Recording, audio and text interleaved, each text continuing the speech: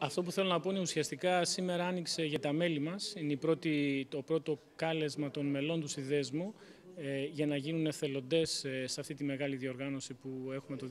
2013. Ε, ε,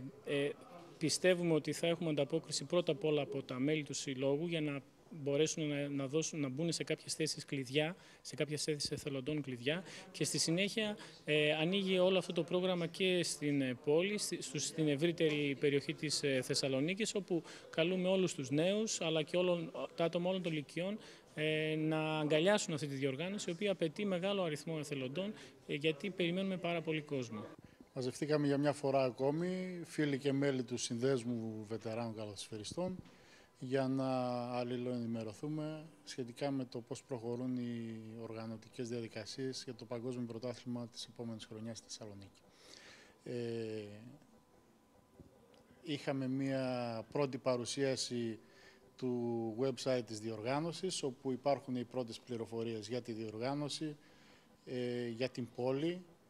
ε, και επίσης είχαμε το πρώτο άνοιγμα ε,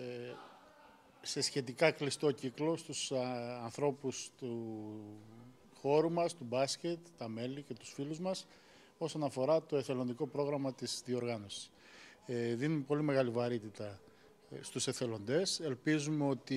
με το σχεδιασμό που θα κάνουμε στο καλοκαίρι και με το μεγάλο άνοιγμα που θα γίνει από το Σεπτέμβριο και μετά στην πόλη θα μπορέσουμε να προσελκύσουμε μεγάλο αριθμό εθελοντών όλων των ηλικιών έτσι ώστε να καταφέρουμε να στελεχώσουμε όλες τις θέσεις τις οποίες θεωρούμε απαραίτητες για να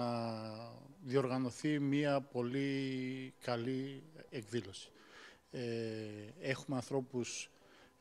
από τον χώρο μας αλλά και από άλλους αθλητικούς χώρους της Θεσσαλονίκης, αλλά ακόμη και ανθρώπους από φορείς που ίσως και να μην είχαν προηγούμενη σχέση με τον αθλητισμό έχουν καταλάβει πόσο σημαντική είναι η διοργάνωση αυτή για την πόλη μας και όλο και περισσότεροι έρχονται κοντά εκδηλώντας την πρόθεση και τη διάθεσή τους να βοηθήσουν.